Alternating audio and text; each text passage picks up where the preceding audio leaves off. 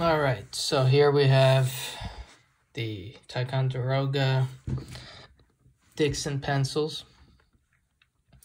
These are the uh, regular HB number twos.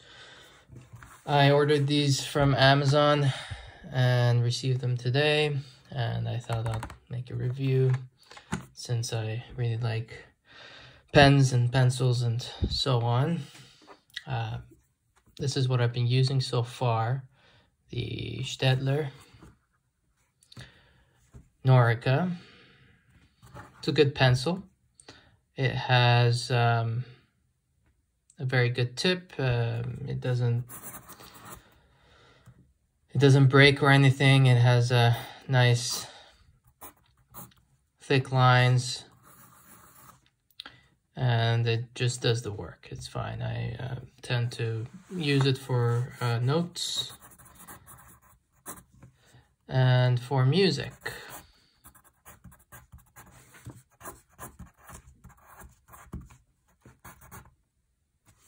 Seems to do the job.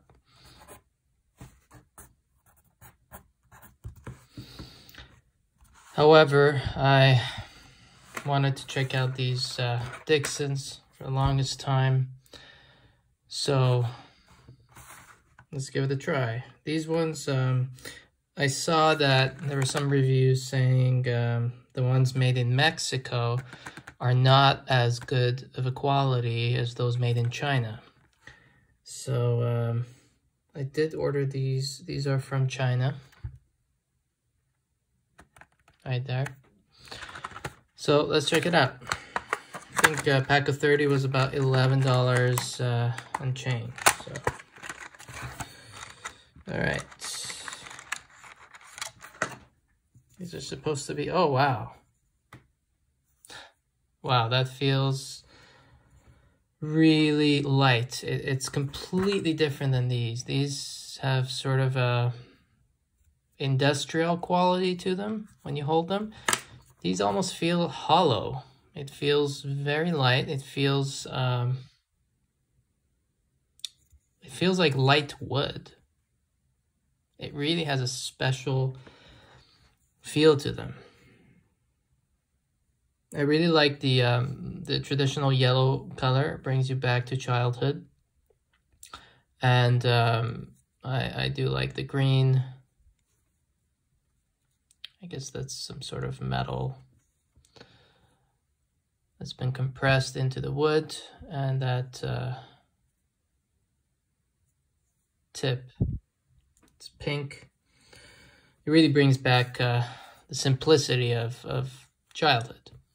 So I, I really just like it for that reason already without even having tried it yet. So let me go ahead and uh, write something. Uh, largo. Agitato. Presto. That's really nice. It's um, very similar to the Staedtler. The Staedtler feels a little scratchier though. This feels smoother. I'm very impressed.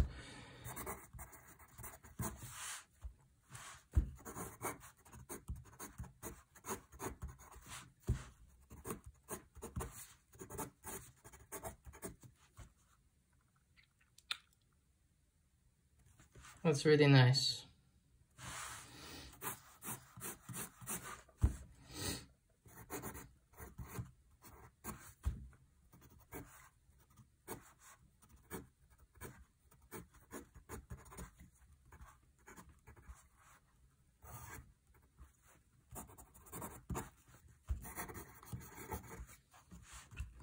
That's very nice.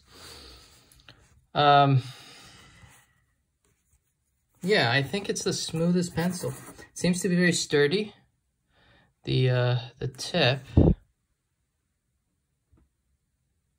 compared to the Staedtler, they seem to be very similar, but uh, I'm not sure if the Staedtler seems to have a little bit more of a shine on it.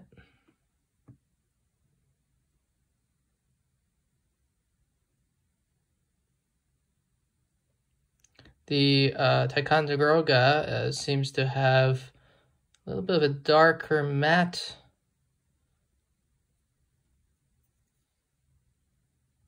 quality, but that might be because of the lighting. No, when I switch it, Staedtler still has a slight uh, brightness to it.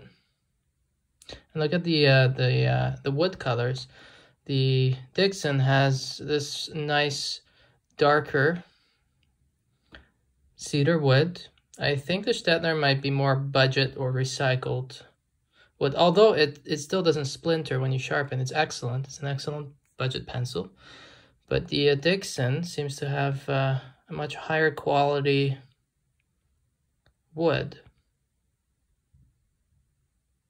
has a nicer pattern on it too. So um, I really like these, and they're they're really cheap. I mean, they're not those Japanese or German high quality, high end pencils. Um, yet still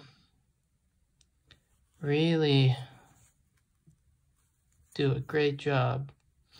Um, I think I'll use this to to make sketches, write music, uh, you know, make notes, and uh, let's see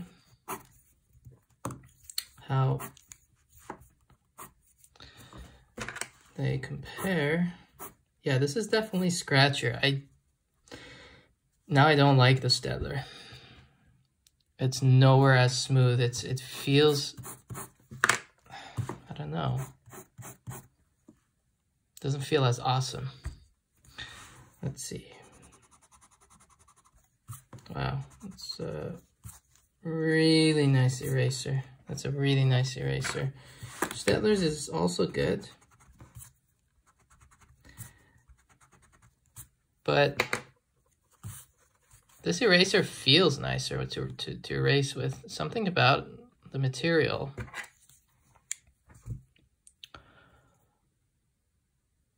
It just feels better to erase with. So there you go. Dixon.